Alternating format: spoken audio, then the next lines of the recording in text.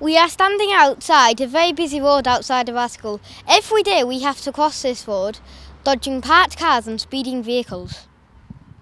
We want to get across this road and the roads around our school safely, but quite frankly, it's dangerous. Traffic calming measures, road humps and double yellow lines are useless. Already we have had a number of accidents or near misses. That's why we are calling for a zebra crossing outside our school's main entrance. This will legally make cars stop. Surveys we have conducted overwhelmingly support, with over 100% agreeing. But why stop there? How about making it a law to have a zebra crossing outside all school main entrances? It's just a few lines on the road that will make a huge difference and save lives. Crossings for Kids think so. Join our campaign today to keep kids safe on the roads.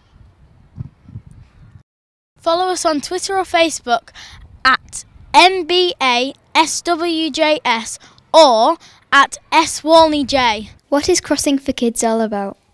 Crossings for Kids is about trying to get zebra crossings outside all school main entrances and like for the safety of kids to stop people parking on humps and yellow lines because we've seen a lot of people doing that.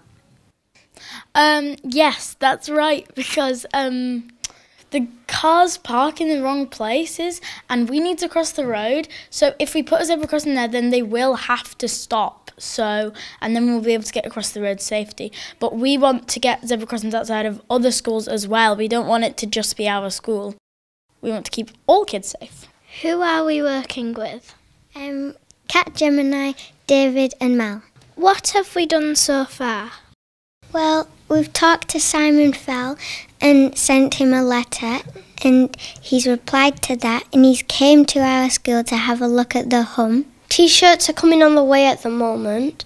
We've done surveys and tested the people outside to see what they feel like crossing the road and if they feel safe or if there's any, been any accidents happening. South Walney Junior School have been part of a project called Bright Stars this year and uh, it's part of the Centre of Leadership and Performance.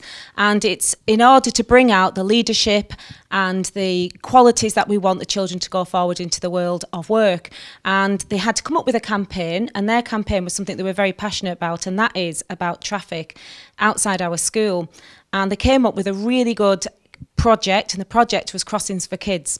And the Crossings for Kids project is all, all about trying to get a zebra crossing outside of the main gates of all schools so that the children can go into the school feeling really safe. Um, we, among other schools, um, have had real quite terrific problems with um, parking and with speeding cars outside of school. So they came up with something that was very passionate to them. It's led by the children. The children lead the project and they've already spoken to their MP and they've also spoken spoken to um, other people and we've talked to highways and things like that about this as well. And what we really want is for them to be able to cross safely into school. We've made t-shirts, banners and now we're on Can Do FM.